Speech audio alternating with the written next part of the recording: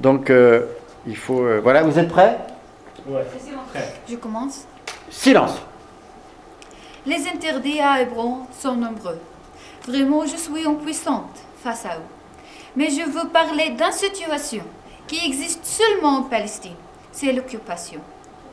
L'occupation a imposé une vie très dure, particulièrement à Hébron.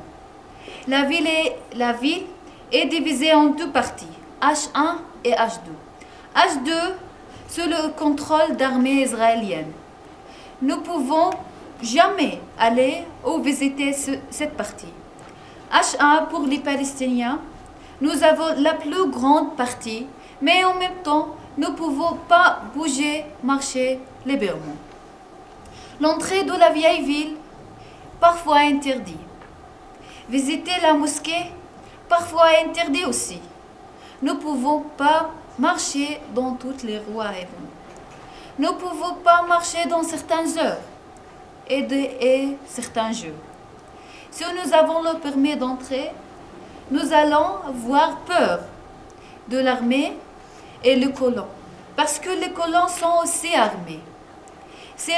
Selon un comportement agressif, personne pour les arrêter. Les colons sont agressifs. Ils, se- ils considèrent que la terre pour eux et les Palestiniens n'ont pas le droit d'être à Hébron et en Palestine en général.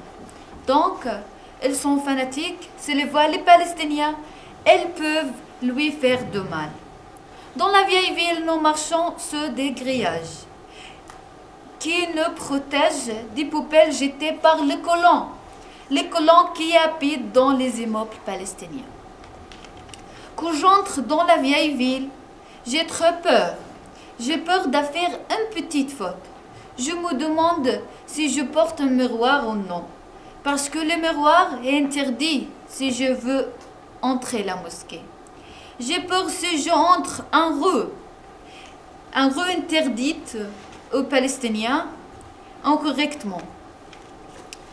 Euh, avant d'y aller, je, je me demande, mo- euh, je me demande au moins six fois, euh, six- euh, dix fois si je entre ou non.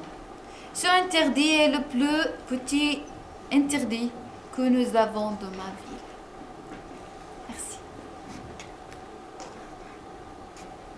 خلاص